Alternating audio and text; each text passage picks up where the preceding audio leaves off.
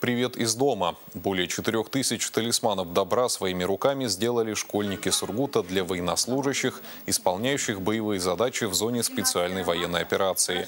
Всероссийская акция проходила с середины февраля по середину марта. Сейчас сделанные руками детей обереги небольшими партиями уже начали отправлять адресатам.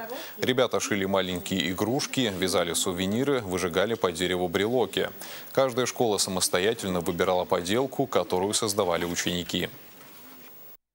Ученики нашей школы изготавливали мишек. Один из символов России, э, олицетворяющий мощь державы, это медведь. Поэтому талисманом добра мы выбрали медведей.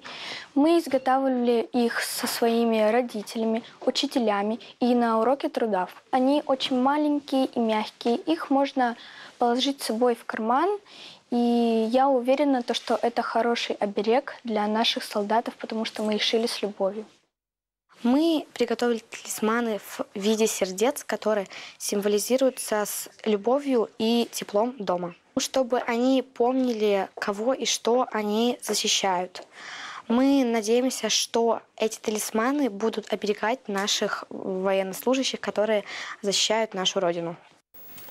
Всего в акции приняли участие 29 сургутских школ. Помогали делать талисманы детям, родители и педагоги. Отправкой ценного груза занимается гуманитарный добровольческий корпус Югры. Как отметил руководитель штаба добровольцев Светлана Басова, такой презент для военнослужащих не менее важен, чем набор, включающий в себя предметы первой необходимости.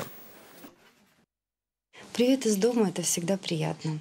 А тем более, когда это сделано ручками маленького человечка, а, которого на сегодняшний день ребята защищают. Ну, будем говорить правда, да, что мы защищаем землю, родину для будущего.